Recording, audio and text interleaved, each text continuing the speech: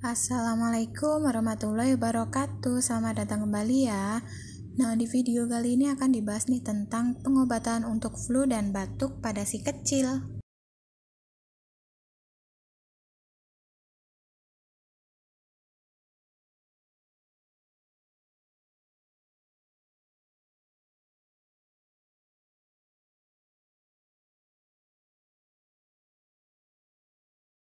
Nah, batuk pilek merupakan keluhan yang sering menimpa anak-anak ya. Agar batuk pilek tidak mengganggu aktivitas si kecil dan mengurangi keceriaannya, ada langkah-langkah sederhana nih yang dapat dilakukan untuk meredakan kondisi ini. Nah, tentunya bisa saja ya apabila yang terus-menerus gejalanya bisa dilakukan juga pengobatan secara memberikan obat-obatan kepada si kecil. Nah, batuk pilek umumnya disebabkan oleh virus atau bakteri yang menginfeksi hidung dan juga tenggorokan. Batuk pilek karena virus dapat sembuh sendiri dalam waktu beberapa hari, sehingga tidak perlu diobati dengan antibiotik. Yang perlu diobati dengan antibiotik adalah batuk pilek karena infeksi bakteri. Nah, meskipun umumnya tidak berbahaya, Batuk pilek dapat mengganggu aktivitas dan juga istirahat anak. Si kecil yang biasanya ceria juga bisa loh jadi terlihat lesu dan tidak bersemangat. Bila seperti ini, orang tua pasti ya merasa sedih dan ingin si kecil bisa segera kembali sehat.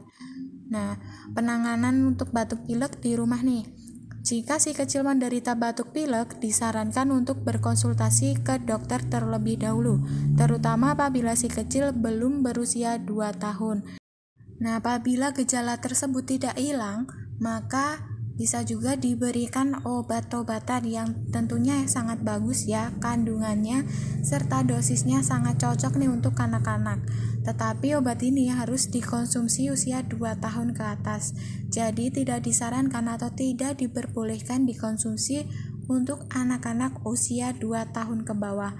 Nah, salah satu keunggulan dari Thermorec Plus ini yaitu tanpa alkohol. Nah, jadi untuk zat-zat pelarutnya itu tanpa menggunakan zat pelarut alkohol. Jadi sudah tentu aman dan yang paling penting adalah 100% halal ya.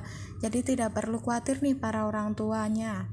Nah, komposisinya sebenarnya apa aja nih untuk Thermorec Plus ini karena kan Thermorec Plus merupakan sirup obat flu yang disertai batuk Nah, di sini kan sirup obat flu yang disertai batuk berarti terkandung juga nih untuk obat-obatan flu serta terkandung juga obat untuk mengobati batuknya.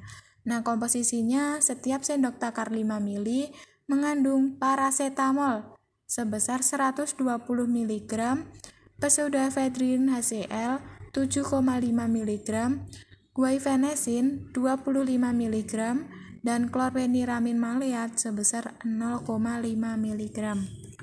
Nah, tentunya kandungan ini cukup ya untuk anak-anak apabila sedang mengalami flu dan juga batuk.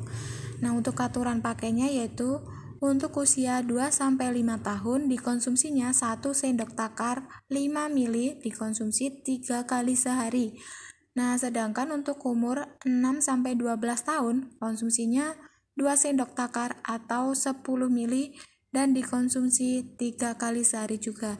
Jadi dosisnya dua kali lipat dibanding anak usia 2 sampai 5 tahun. Dan jangan lupa harus makan terlebih dahulu ya agar tidak mengiritasi lambung si kecil. Nah, pengeringatan dan perhatiannya nih tidak boleh diberikan pada penderita yang peka terhadap obat simpatometik lain seperti efedrin, fenilpropanolamin, dan fenilefrin. Penderita tekanan darah tinggi berat dan yang mendapatkan terapi obat antidepresan tipe penghambat monoamin oksidase. Kemudian tidak boleh melebihi dosis yang dianjurkan. Nah, di sini tadi kan sudah tertera ya dosis untuk minumnya itu berapa. Jadi tidak boleh melebihi dosis yang dianjurkan karena akan menyebabkan overdosis. Nah, kemudian hati-hati menggunakan pada penderita tekanan darah tinggi atau yang mempunyai potensi tekanan darah tinggi atau stroke. Seperti pada penderita dengan berat badan melebihi atau penderita usia lanjut. Kemudian bila dalam tiga hari gejala flu tidak berkurang, segera hubungi dokter atau unit pelayanan kesehatan. Nah, kemudian yang terakhir, hentikan penggunaan obat ini jika terjadi susah tidur, jantung berdebar, dan bahkan pusing. Nah, karena apa? Karena salah satu efek samping dari penggunaan pseudoephedrine ataupun chlorpheniramine maleat adalah mengantuk. Jadi seharusnya setelah minum obat ini itu akan muncul rasa mengantuk. Tetapi apabila tidak muncul rasa mengantuk bahkan terjadi susah tidur, maka harus segera diperiksakan ke dokter atau konsultasi dengan tenaga kesehatan. Nah, sebenarnya tujuan Thermorec Plus ini apa sih? Nah, tujuan Thermorec Plus ini dibuat yaitu untuk meringankan gejala flu seperti demam, sakit kepala, hidung tersumbat, serta bersin-bersin yang disertai dengan batuk.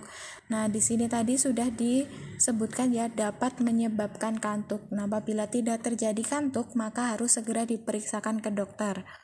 Nah, jangan lupa apabila membeli harus cek juga nih untuk tanggal expired date-nya atau kadaluarsanya.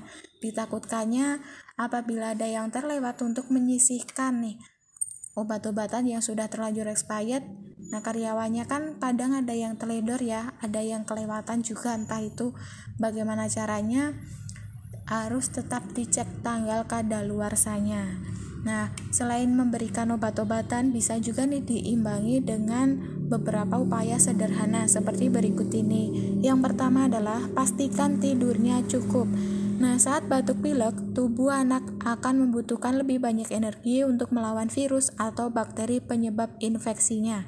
Oleh karena itu, pastikan ya si kecil cukup tidur dan beristirahat.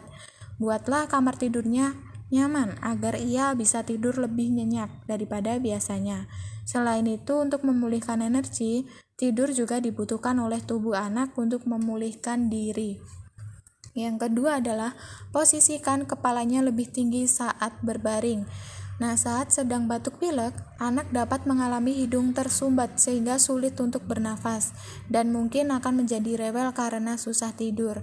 Agar si kecil bisa bernafas lebih lega, posisikan kepalanya lebih tinggi ketika ia tidur. Gunakanlah bantal tambahan untuk menopang kepala serta bahunya. Kemudian yang ketiga adalah berikan lebih banyak air putih. Jika si kecil sudah berusia lebih dari enam bulan, maka berikan ia minum air putih lebih banyak. Air putih akan membantu mengencerkan dahak di saluran pernafasan, sehingga lebih mudah dikeluarkan ya dahaknya. Selain itu, dengan minum air putih yang cukup, si kecil akan terhindar dari dehidrasi yang dapat memicu berbagai masalah kesehatan lainnya. Nah, kamu juga bisa loh memberikannya minuman yang hangat seperti teh sebagai selingan. Nah, di samping meringankan batuk pilek, minuman hangat bisa meredakan sakit tenggorokan saja. Nah, jika si kecil masih minum ASI, lanjutkan pemberiannya ya. ASI dapat membantu bayi untuk lebih cepat pulih dari sakit flu. Kemudian yang keempat adalah berikan madu. Sejak dahulu, madu sudah dipercaya dapat meringankan batuk dan juga sakit tenggorokan. Bahkan banyak yang meyakini bahwa minuman dengan rasa manis ini lebih mujarab dibandingkan obat batuk yang dijual bebas. Hanya saja, madu cuma boleh diberikan pada anak-anak yang usianya sudah di atas satu tahun.